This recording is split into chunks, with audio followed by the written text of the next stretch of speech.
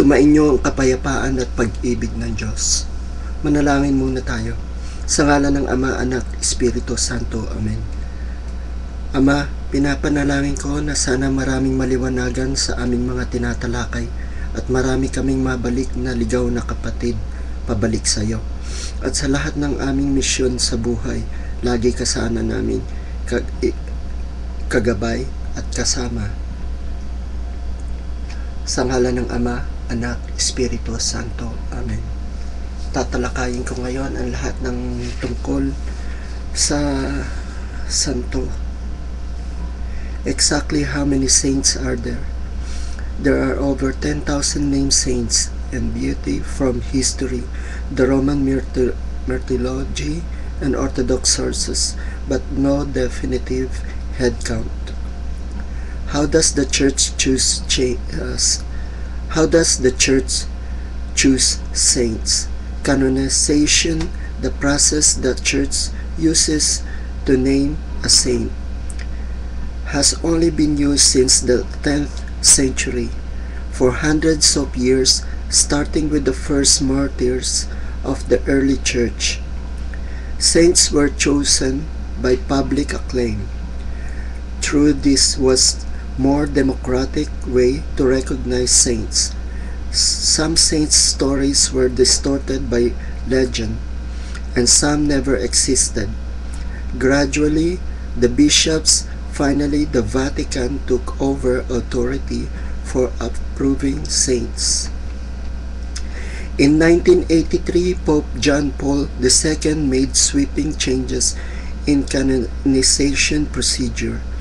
The process begins after the death of a Catholic whom people regard as holy. Often, the process starts many years after death in order to give perspective on the candidate. The local bishop investigates the candidate's life and writings for heroic virtue or martyrdom and orthodoxy of doctrine. Then panel of the theologians at the Vatican evaluates the candidate. After approval by the panel, the cardinals of the congregation of the causes of saints, the Pope proclaim the candidate venerable. The next step, beatification, requires evidence of one miracle, except in the case of martyrs.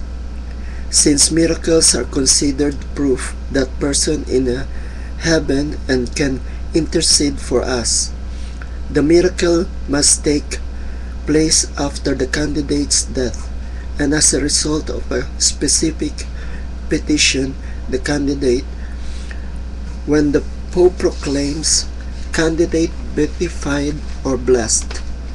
The person can be venerated by particular region of group of people with whom the person holds special importance. Only one, uh, one more miracle will the Pope canonize the saint. This includes martyrs as well. The title of saint tells us the person lived a holy life, is in heaven, and is to be honored by the universal church. Canonization does not make a person a saint. It recognizes what God has already done. True canonization is infallible and irrevocable. It takes a long time and lot of lot of effort. So while every person who is canonized is a saint, not every holy person has been canonized. You have already known many saints in your life, and you are called by God to be one yourself. When did the church start honoring saints? By the year 100 AD, Christians were honoring other Christians who had died and asking for their intercession. Many people th- think that honoring saints was something the church set up later, but it was part of Christianity from the very beginning. As a matter of fact, The practice came from a long-standing tradition in the Jewish faith of honoring prophets and holy people with shrines. The first saints were martyrs, people who had been given up their lives for their faith in the persecution of Christians. Skipping statues or pictures of saints idolatry. Look at the pictures of your loved ones in your wallet around or around your home or of office. Why do you keep these particular pictures? You might answer you might answer you carry those pictures to remind you of people you love to help you to help you feel that you're close to you when the, when you're not together or to share with people you meet but you probably didn't say you worship them those are some of the same reason we have statues and pictures of saints seeing a statue of saint therese of lisieux who lost her mother when she was a child might make us feel less alone when we are grieving. A picture of Saint Francis of Assisi might remind us how much he loved God's creation and make us more aware of our environment. Do Catholics pray to saints? We pray with saints, not to them. Have you ever asked anyone to pray for you when you were having a hard time? Why did you choose to ask that person? You may have chosen someone you could trust, or someone who understood your problem, or someone who was close to God. Those are all reasons we ask saints to pray for us in times of trouble. Since saints led holy lives and are close to God in heaven, we feel that they their prayers are particularly effective often. We ask particular saints to pray for us if we feel that they have particular interest in our problem.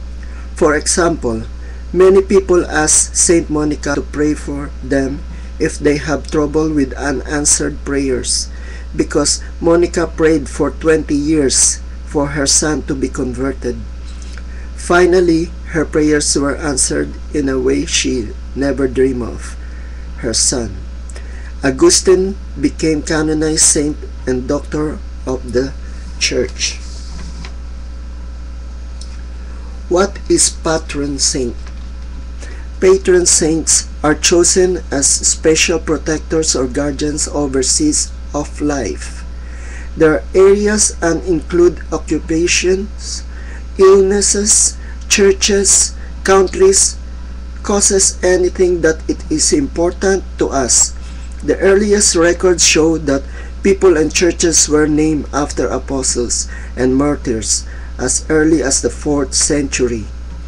Recently, the popes have named patron saints, but patrons can be chosen by other indi individuals or groups as well. Patron saints are often chosen today because an interest talent or event in their lives overlaps with the special area. For example, Francis of Assisi loved nature and so he is patron of ecologists. Francis de, Sa de Sales was a writer and so he is the patron of journalists and writers. Clare of Assisi was named patron of television because one Christmas when she was too ill to leave her bed, she saw and heard Christmas Mass.